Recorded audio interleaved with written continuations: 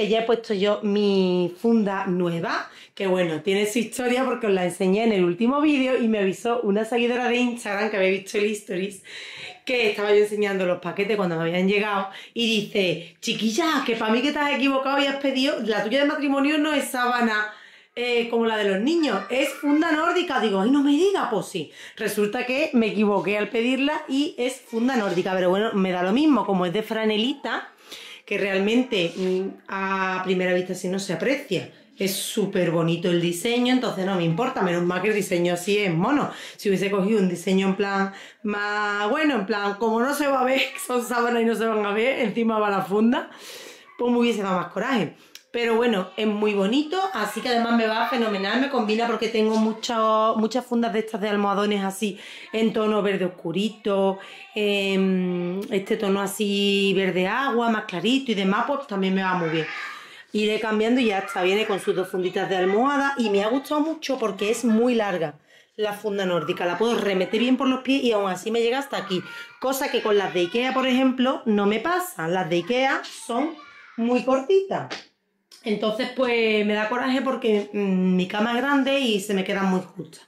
Y nada, con las quería enseñar yo, que ya estoy yo ilusionada con mi funda nueva. Estas cosas pues a mí me, hacen ilusión, oye. Eh, le he puesto una bajera que yo tenía, menos más, de franelita, y encima pues directamente en la funda nórdica. No le he metido sábana encimera, porque si no, no voy a notar yo el efecto mm, térmico de la franelita de la funda. pues listo. Vamos a hacer una burger para cenar hoy. Tengo ya aquí estas tres, para los tres mayores. Esta para Nico, que nada más que la quiere con carne y queso. Raúl también solo con carne y queso. Mateo le va, le, va a poner como yo. Voy a aprovechar que tengo por aquí estas espinacas baby. Y voy a cortar un tomatito. Y al chiquitín solo con carne y queso truquillo, yo lo que hago es que las pongo, eh, utilizo el aceite este me trae, ¿no? Las pongo cuando están hechas por un lado y le doy la vuelta y le coloco la loncha de queso y en lo que tarda en hacerse por la otra parte se derrite el quesito. Hala, pues hoy ratito de plancha ya tocaba sí o sí. Yo no suelo planchar, ya lo sabéis, pero ya sí que tenía acumuladas muchas cositas que sí que estaban muy arrugadas y tenía que darle un poquillo. Tenía camisas de los fines de semana que las lavo y las voy a ir acumulando en la plancha. Como tienen muchas camisas, pues las voy a ir acumulando y cuando ya tengo un montoncito considerable, me dio a planchar las pantalones de así más arregladitos que también me tocaba planchar, de estas y demás. Entonces, pues bueno, ya hoy digo, me voy a ir con la plancha porque ya la montaña cada vez era más alta y la tengo aquí en el lavadero y como ya sabéis aquí mmm, estamos siempre faltos de espacio. Entonces pues bueno en ello ando.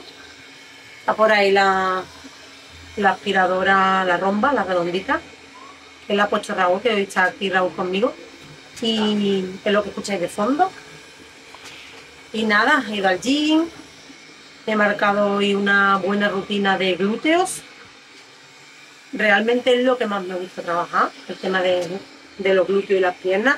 Me cuesta más trabajo, mm, el tren superior siempre me da como más pereza. Y allí hablando con las amigas y demás, no sé por qué no suele pasar esto a casi todas las mujeres.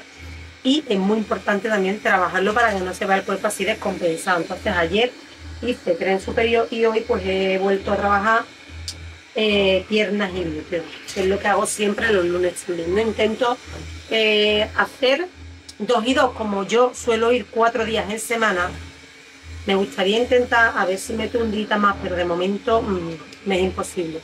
Porque es que ya me lo pide el cuerpo, es lo que pasa con el gimnasio, que, muchas me estáis preguntando, por privado también por Instagram y demás, que cómo encuentro la motivación, porque es verdad que claro, sobre todo al principio pues te cuesta hacerte, te cuesta convertirlo en un hábito, pero mm, os digo de corazón que en cuanto empiezas a ver cambios y empiezas a sentir esos cambios, no solo verlos en el espejo, sino sentirlos, pues te sientes como más feliz, porque claro, liberamos endorfina, um, más tranquila, más positiva con la vida, con todo, mm, gestiono mejor el día a día con mis hijos, todos son ventajas. Entonces eso hace que te enganches.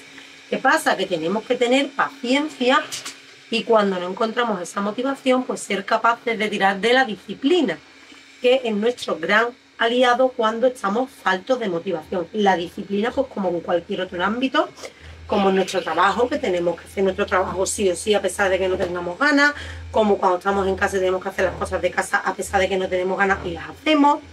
Eh, cuando tenemos que ponernos guapos nuestros hijos, que hay días que no hay ganas y aún así nos ponemos, pues esto es igual. Y yo os prometo que recurriendo a esa disciplina, cuando tenemos falta de motivación, al final superamos ese primer, esa primera etapa de acostumbrarnos y, y que el cuerpo se haga adicto, digamos, a esa liberación de endorfina y ya se convierte en un hábito. Y no solo en un hábito, yo diría más, para mí se convierte en un vicio, en el mejor vicio que podemos tener, que es hacer deporte, sin que por supuesto se convierta en una obsesión, ¿vale? Yo voy cuatro días en semana, una horita aproximadamente, porque más no me puedo permitir y tampoco lo veo necesario, ¿no? Por lo que ya eh, me he informado a lo largo de los años y demás, con una horita es más que suficiente, me da lugar a hacer tanto cardio, como un ratito de cardio, como eh, los ejercicios de fuerza, que sin duda mm, son con lo que estoy viendo más transformación física, ¿eh? con los ejercicios de fuerza, que verdad. Yo que pensaba cardio, cardio, y siempre con el cardio no.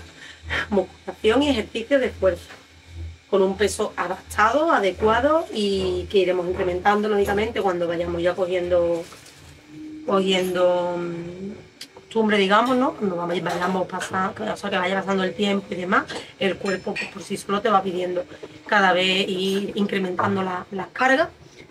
Y es como más cambios estoy notando, porque es verdad que el músculo al irse desarrollando va desplazando a la grasa y le da al cuerpo pues esa forma más definida y demás que, que hace que la ropa, que todo, que tú te veas mejor. Yo ya ni me peso, que esa es otra cosa. Yo estaba ya siempre cada semana, cada dos semanas que me pesaba, obsesionada en el sentido de habré perdido, no habré perdido, pues ya paso olímpicamente del peso, me miro al espejo, que es lo que dicen la mayoría de los entrenadores. El espejo va a ser tu mayor aliado, mm, ahí es donde de verdad te vas a notar el cambio y la ropa, por supuesto. Pues ropa que, que antes no me podía poner con el mismo peso, ahora me la pongo, incluso me queda ancha, porque el cuerpo se va moldeando, ¿no? se va modelando y todo eso es gracias sobre todo al ejercicio de fuerza. El cardio es importante también, pero creo que lo tenemos sobrevalorado, sobre todo en las mujeres. Eso de matarnos a correr, andar en la cinta elíptica, mm, esas sesiones maratonianas que yo me metía de cardio que te dejan agotada. Pues no, ahora me estoy dando cuenta que el ejercicio de fuerza es lo que más está produciendo ese cambio físico en mí y la verdad que muy contenta y ya pues se vuelve una adicción, una adicción sana. Como os digo, sin obsesionarnos, pero sí, ya necesito todos los días mi reto de gimnasio y los días que no puedo ir por lo que sea, pues no estoy igual. No me siento yo igual, no, no sé.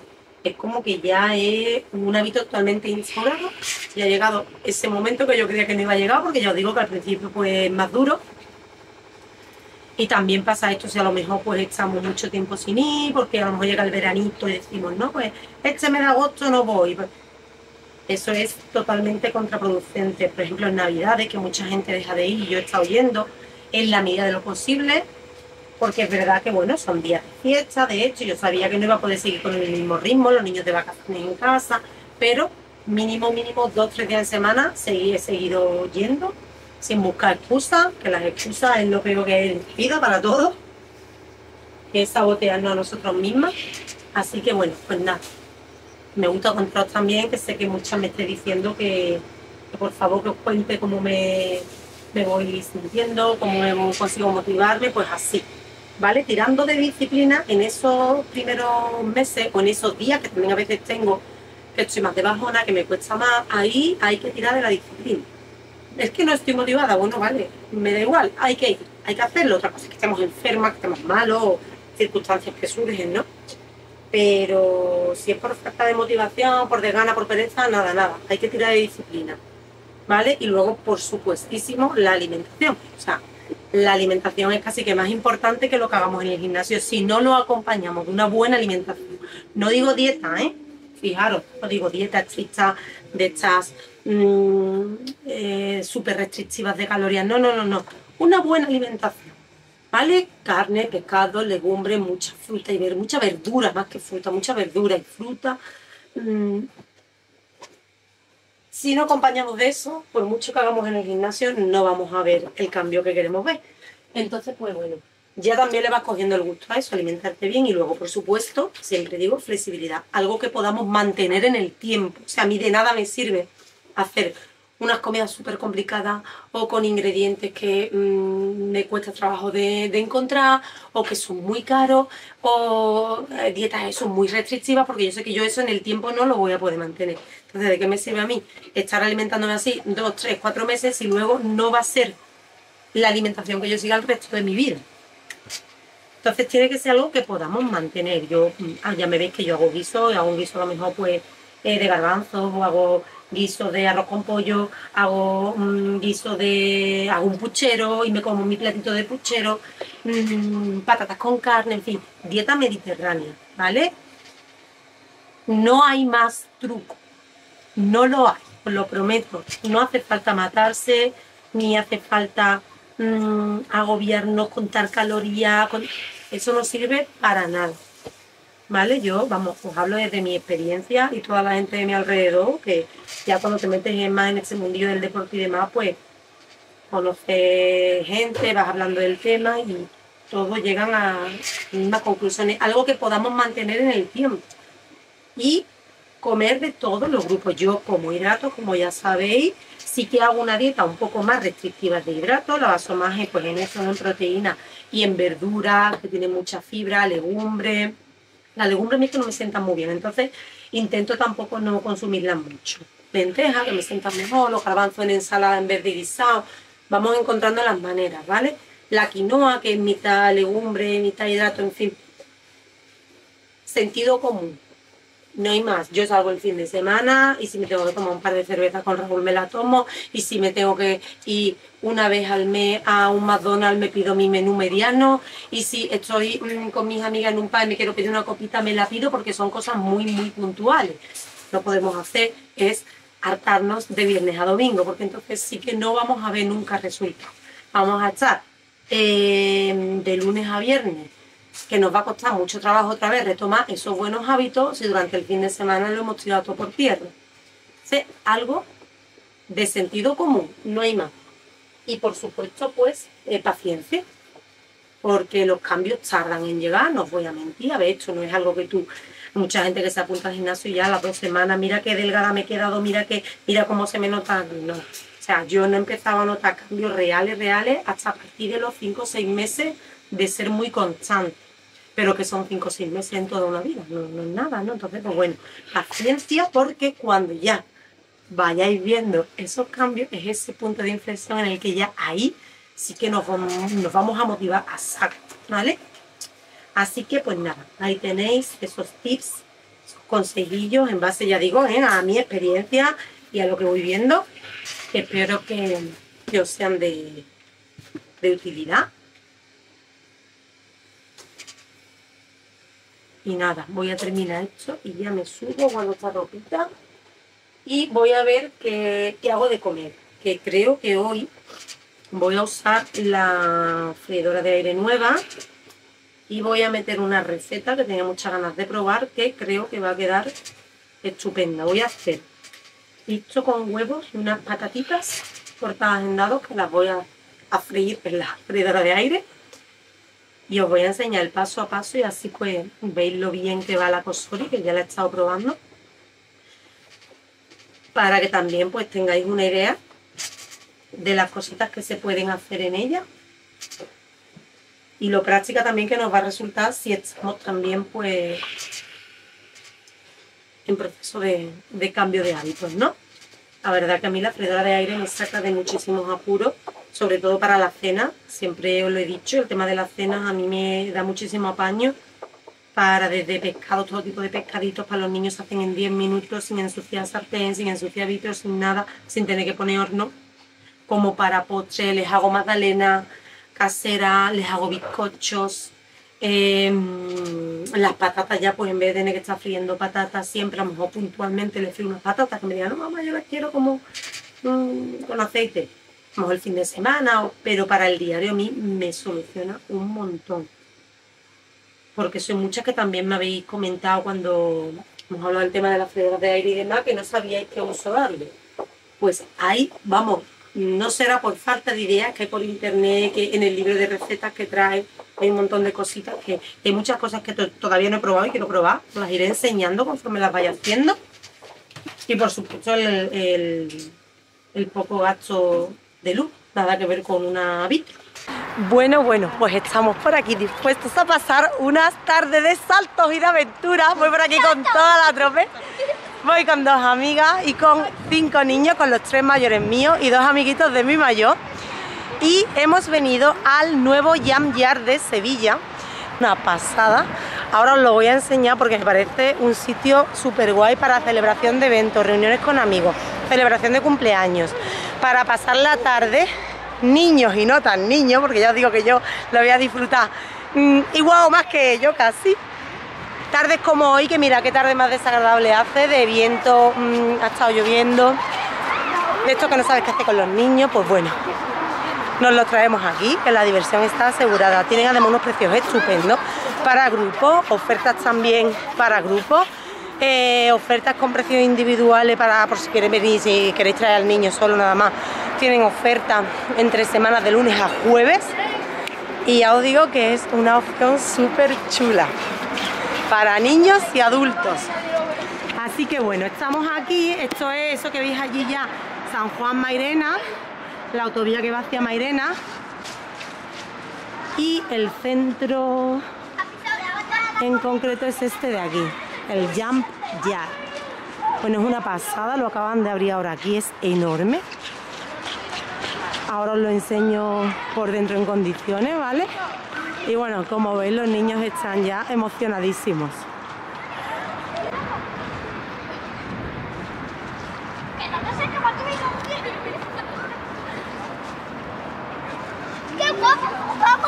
Bueno, ¿qué? ¿Entramos? ¿Entramos, chicas? ¡Vamos, chicas! tranquilitos, ¿eh? Bienvenidos. Oh, qué chulo. Recepción, eh, planta 1. Vamos arriba. Vamos a subir por ahí. Tranquilo, que se van a asustar. Van a decir, ¿quién viene por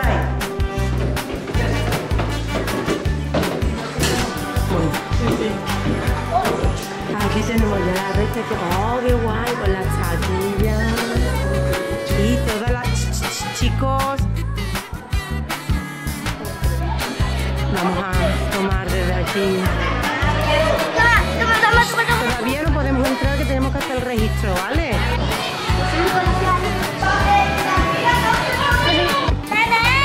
Voy, voy. Venga. Sí, estos son los tuyos. Toma. Son más grandes, ¿vale? Mateo. Bueno, lo abro así, ¿no? No. Eso. ¿Cómo se hace? ¿A que está nervioso?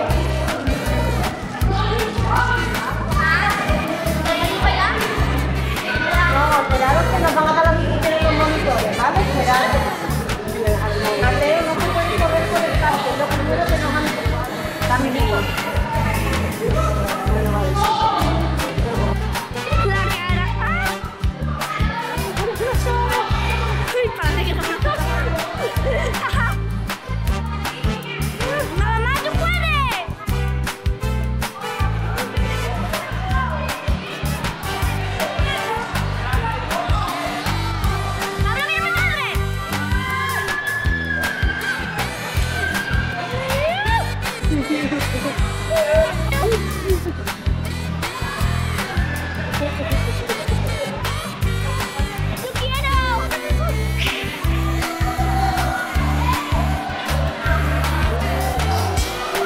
Definitivamente esto es una pasada.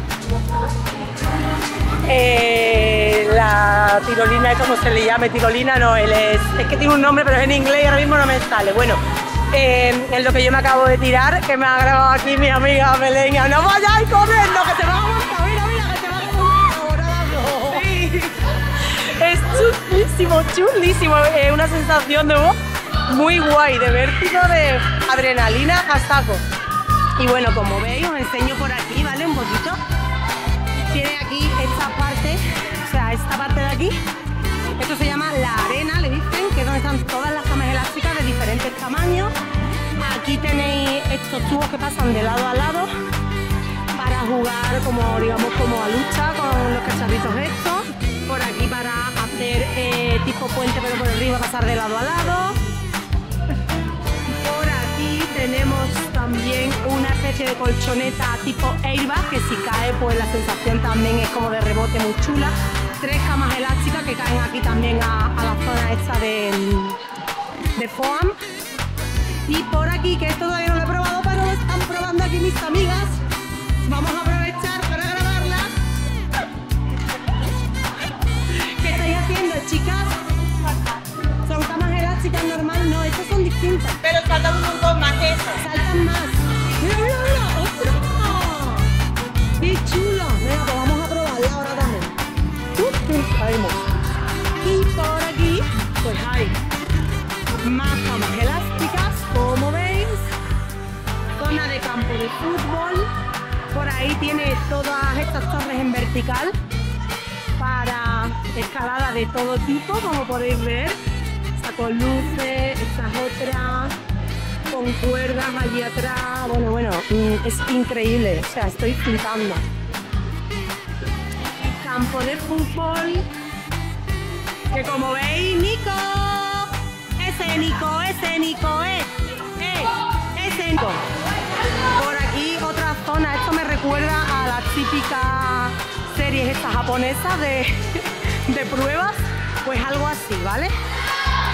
Yo ya lo he intentado por ahí, lo veréis en un Reels de Instagram. Que me he partido de la risa yo ahí, intentando pasar por ese, por ese pasillo de, de bolas de goma y arandelas y demás. Súper difícil, ¿eh? os lo digo, ¿eh? Y este lo voy a probar ahora. Así que nada, vamos a seguir disfrutando porque el sitio lo merece. Hala, pues estamos aquí en el aire sur. Una vez más. Las dos, una vez más. Porque tenemos que descambiar. Ya un hacía tiempo que no No, hacía, solas. hacía muchísimo tiempo, eso debo decir. Una vez más ya hace Sí. tela. Mm. Mm, que vamos a descambiar un pantalón que le queda grande a Raúl. Sí, porque Y- esta gente con el gimnasio, como están a tope, le piden a los reyes una talla, se van al gimnasio y Y ahora es lo que pasa. Entonces vamos a aprovechar también que quiero mirar yo una faldita en Zara, que me he enamorado de la farda, a ver si la veo y la encuentro. Tú ves, yo no, yo soy legal a mi cuerpo y yo no hago para comprar ropa ni hago descambiar a nadie las cosas. Yo me mantengo. Si acaso me pongo una gomillita para abrocharme el pantalón. Te- Los mantecados tengo unos pocos pegados por aquí. Que bueno, a ver que vemos que también hay rebajas ya, entonces pues a ver qué cosillas hay, echar un vistazo. No pienso gastar porque no, enero es un mes muy chungo, pero bueno, quiero mirar la faldita, sí que la quiero mirar. Ya que vengo de cambiar pantalón, le cogeremos un vaquero, que prefiero un vaquero. Sacarlo a mi lado. Y sí. Y he ido al gimnasio, he ido a desayunar, en el gimnasio no podemos faltar. Y ahora pues eso, a ver qué vemos. Hemos venido al Aire Sur, que es un centro comercial que está aquí en Castilla de la Cuesta. Porque el parking se está inundando, a ver si salimos. Que mi madre dice que lo mismo tener que salir nadando, porque es verdad que está Cayendo mm, cayendo de mucha agua. No sé. Cataratas, cataratas. Por, la, por las columnas. Eso porque se filtrará por el techo.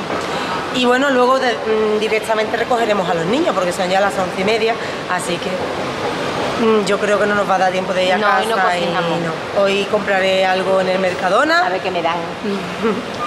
para comer nada más llegar.